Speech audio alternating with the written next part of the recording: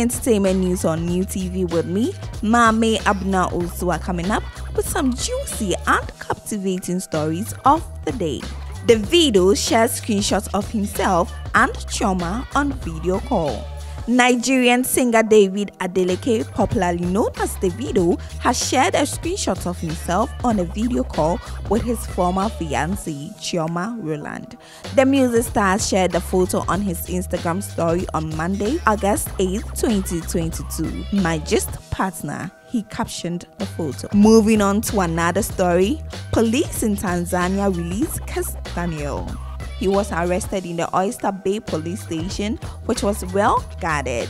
Abike Dabiri Erewa, the chairperson of the Nigerian in Diaspora Commission, announced his release on Twitter Monday night. KD has been liberated, Ms. Dabiri Erewa added.